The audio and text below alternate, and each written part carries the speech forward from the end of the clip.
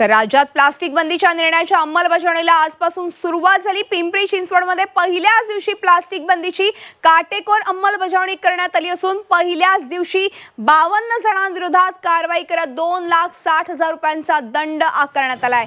उल्हासनगरमध्ये महानगरपालिकेनं प्लास्टिक बंदीच्या कारवाईला जोरदार सुरुवात केली आहे. महानगरपालिकेनं सर्वप्रथम प्लास्टिक पिशव्या बनवणाऱ्या कारखाने आणि इतर वस्तूंच्या कंपन्यांवरती कारवाईला सुरुवात केली. आतापर्यंत वीस जणांविरोधात हा गुन्हा दाखल केला असून त्यांच्याकडून एक लाख रुपयांचा दंडही वसूल करण्यात आला आहे चंद्रपूर महानगरपालिकेच्या वतीनं प्लास्टिक विरोधात धडक कारवाई सुरू करण्यात आली आहे. महानगरपालिकेच्या विशेष पथकानं ही शहरातील मुख्य बाजारात असलेल्या गोल बाजारात धाड टाकून अनेक दुकानदारांकडून मोठ्या प्रमाणात प्लास्टिक जप्त केलं आहे यावेळी अनेक दुकानदार आणि मनपाच्या अधिकाऱ्यांमध्ये शाब्दिक बाचाबाचीही झाली.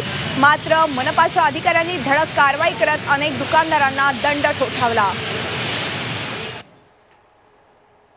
गेल्या अनेक दिवसांपासून आम्ही मोहीम चालू ठेवलेली आहे. स्वच्छ भारत मोहिमेअंतर्गत आम्ही प्रत्येक दुकानदार आणि व्यावसायिक यांना अगोदरच सांगितलेलं आहे की कॅरी बॅग निर्मूलन करण्यासाठी आपलं सगळ्यांचं मुलाचं सहकार्य पाहिजे.